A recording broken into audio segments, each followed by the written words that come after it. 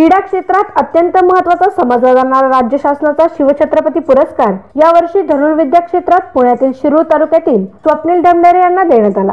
धनुर्विद्या क्रीडा प्रकारात केलेल्या उल्लेखनीय कार्याबद्दल क्रीडा व सांस्कृतिक मंत्रालय मंत्री विनोद तावडे यांच्या हस्ते हा पुरस्कार देऊन स्वप्नील डमडरे यांना पुरस्कार देऊन सन्मानित करण्यात आलं. हा पुरस्कार मिळाल्याने मी खूप आनंदी झालो असून यापुढे होणाऱ्या एशियन गेम्ससाठी मी कसून सराव करत आहे असं मत स्वप्नील डमडरे यांनी व्यक्त केलं. शिवछत्रपती पुरस्कार यावर्षी धनुर्विद्या विद्या क्षेत्रात पुण्यातील शिरूर तालुक्यातील स्वप्नील ढमदरे यांना देण्यात आल्याने पुण्यातच नव्हे तर महाराष्ट्रभर या कार्याची दखल घेत सर्वत्र सामाजिक संस्था आणि संघटनांकडून त्यांचा सत्कार करण्यात येत आहे. Bureau report nation one TV Pune. मी खूप आभारी आहे कात्रदूत संघाचा. त्यांनी माझा आज सत्कार केला. त्याचप्रमाणे त्याचप्रकारे माझा काही दिवसांपूर्वी बाकीच्या क्षेत्रातल्या लोकांकडून सुद्धा सत्कार चालू आहे.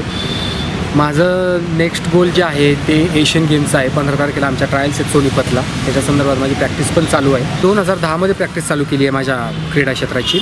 आणि दोन हजार दहापासून सुरुवात केल्यापासून मी आत्तापर्यंत महाराष्ट्राचा गेले सहा वर्ष झालं कॅप्टन पण आहे. मला स्टेट लेवलला वीस पदकं प्राप्त झालेली आहेत. त्यातले अठरा सुवर्ण पदकं आहेत. नॅशनल लेवलला सुद्धा माझं पाच पदकं आहे इंटरनॅशनलला सुद्धा पोलंडला माझं सिलेक्शन झालं होतं. आणि ह्यासाठी पन्नास मीटरचं अंतर असतं धनुष्यबाण कंपाऊंड ह्याच्यामध्ये इव्हेंटमध्ये आणि पन्नास मीटरच्या अंतरामध्ये तुम्हाला गुणांकन असतं दहा नऊ आठ सात. तुम्ही जितके क्लोज आरू मारताल जितके जवळ आरू मारताल त्यानुसार गुणांकन केलं जातं. गेले गेले दोन तीन वर्ष झाले ह्या एशियन गेमच्या ट्रायलची सगळ्यांचीच तयारी चालू आहे. ही ऑलिम्पिकनंतरनं सर्वात मोठी स्पर्धा आहे की जी भारताच्या दृष्टीने खूप मोठी समजली जाते.